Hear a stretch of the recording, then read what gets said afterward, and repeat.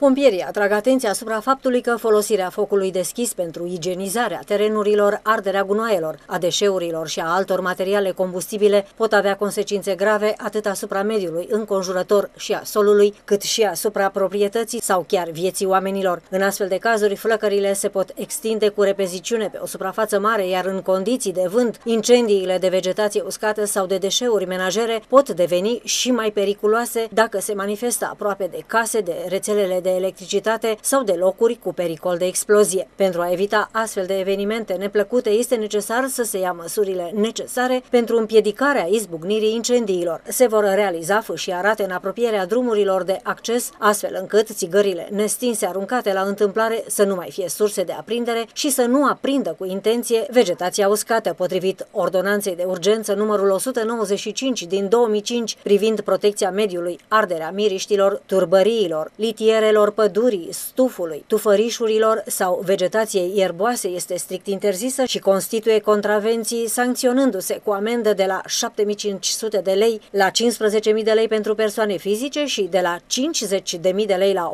100.000 de lei pentru persoane juridice.